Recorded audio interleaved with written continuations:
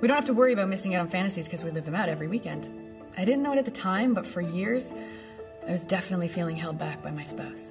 The reason I took DFI was because it was exactly kind of what I was looking for, like a, a mentorship. The experience was pretty good, and having completed a film, I was able to at least build that confidence in myself. You know what I mean? Like, and that's crucial because now I'm working on stuff and I run into the same sort of problems, but because I had completed a film then, I knew that I could do it. And uh, so that, that was probably the most helpful thing.